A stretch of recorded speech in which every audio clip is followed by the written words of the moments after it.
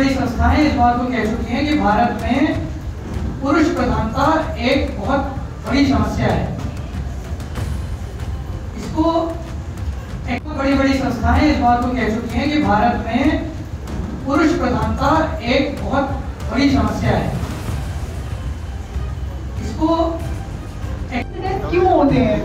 जैसे कि मैं जॉब करती हूँ इवनिंग में ना साढ़े नौ बजे तक घर आती हूँ तो रास्ते में कोई ना कोई समझता है कि रास्ता नहीं, मेरा घर है, मैं जो मर्ज़ी आए वो कर सकता हूँ। साइड से निकल के जा रहा है या फिर मैं ऑटो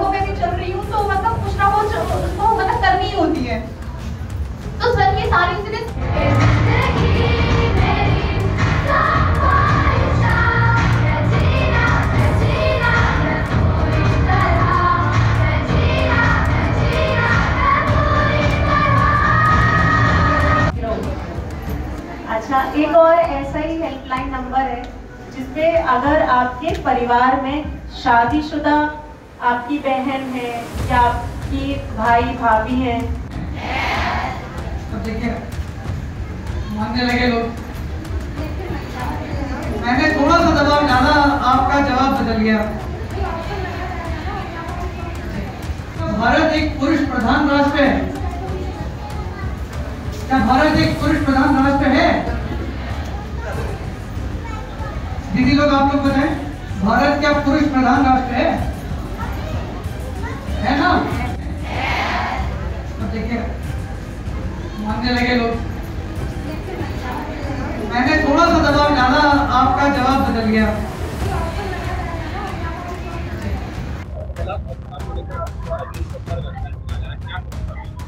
देखिए माननीय मुख्यमंत्री जी की प्रेरणा और गाइडेंस में कमिश्नरेट आगरा में एक जनसंपर्क अभियान लॉन्च किया गया है।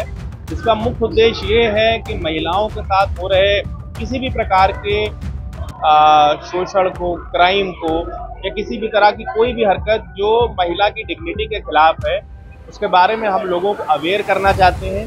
साथ ही साथ हम गवर्नमेंट के जो भी मेजर्स हैं उनको काउंटर करने के लिए चाहे वो कानून के माध्यम से हो चाहे वो काउंसलिंग के माध्यम से हो आ, उसको लोगों तक ले जाना चाहता हूँ।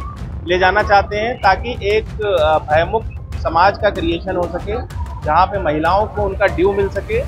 और यदि किसी भी बहन, किसी भी बेटी के साथ कोई भी इस तरह की दुर्भाग्यपूर्ण घटना होती है तो उस पर तत्काल पुलिस कार्रवाई करके ऐसी कार्रवाई सुनिश्चित की जाए कि आने वाले समय में लोग इस तरह के कृत्य करने से बचें और महिलाओं को उनका सही सम्मान दिलाया जा सके।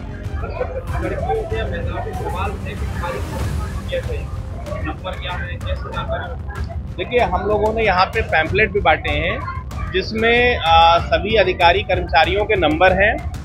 इसी तर्ज पे कमिश्नरेट आगरा में 1643 बीट बनाई गई है जिसमें जो बीट पुलिस प्रभारी रहेगा उसका ये दायित्व होगा कि इस तरह के अभियानों को वो निरंतर चलाता रहेगा। और बीच बीच में बड़े लेवल पे भी अभियान के रूप में वो सीपी साहब और अन्य उच्च अधिकारियों के द्वारा एक अभियान के शक्ल में चलाया जाएगा, जो आजकल चलाया जा रहा है, जिससे हम लोग भी संपर्क कर सकें और एक फीडबैक मैकेनिज्म की तरह जो फीडबैक मिलता है, उससे प्रोग्राम को और इम्प्रूव कर सकें।